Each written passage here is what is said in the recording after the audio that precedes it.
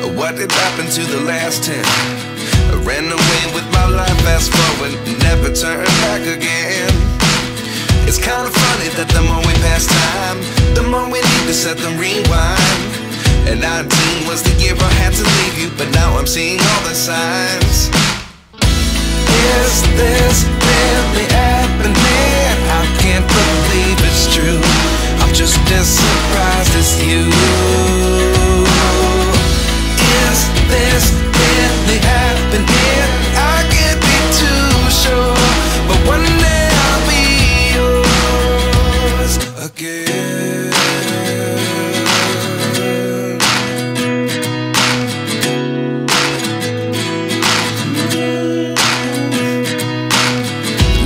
lessons come one in a dozen.